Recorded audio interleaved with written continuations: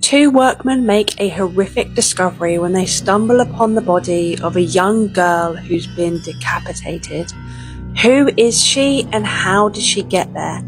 My name's Emma and I'd like to tell you the story of the St. Louis Jane Doe. It's 1983 in St. Louis, Missouri and two men are looking for scrap metal in the basement of an abandoned building. One of them flicks a lighter for a cigarette and through the glimmers sees a body. They immediately notify police and the police turn up and initially they think that this is either a sex worker or a drug addict.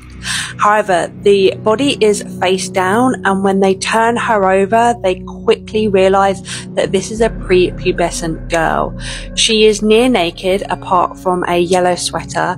Her hands are tied behind her back with red and white rope. She has been SA'd and decapitated.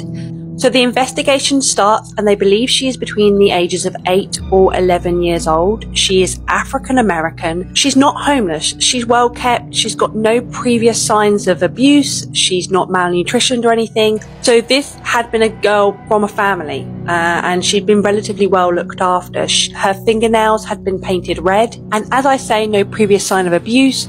She's not underweight, anything like that. They check school records but can't find anyone that's missing or any missing persons, so they believe she's from out of state. Her head is never found. It's still not found to this day. And because of that, they obviously can't do dental records. They can't um, do facial identification. They do take her fingerprints, her footprints, and her DNA. And through forensics, they decipher that she wasn't killed at that location. She was actually killed five days prior and her body dumped there. The police actually end up contacting several psychics, and one says that the police will find her head on a boat off the Gulf of Mexico. Another say that she is a missing girl, Shannon Johnson, and that her killer was a drifter from South Texas. Both of these are completely debunked. They're not true.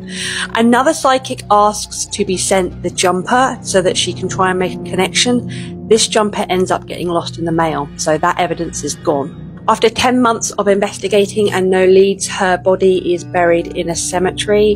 In 2013, with obviously scientific improvements and things, they exhume her body to test her bones to find out whereabouts she lived. They decipher that she either lived in the southeast or the midwest of America. They think her killer must have been a family member because there is no missing reports of a girl of that description. Someone must have known. How can a girl just go missing and murdered with no trace. So they, that's why they believe it must be some family member and it's, they're covering it up. They are still appealing for people. If you have any information, if you knew a girl around that time that you just sort of went missing and the family made maybe an excuse for her, please get in contact. Some believe it was the serial killer Vernon Brown. At the time, he did kill three women and girls. He did confess to those three that he was convicted for. After intense questioning, he never admitted to this case. He was executed in 2005 for his crimes. That's the mysterious case of the St. Louis Jane Doe. I don't understand how a girl can be murdered and there's no missing reports. There's nothing to identify her at all. So this is still an unsolved case. It's really, really sad that this 8 to 11 year old girl has just been brutally murdered and we have no idea who she is. As always, if you like my content and you'd like to hear more true crime stories, please remember to like, subscribe and comment.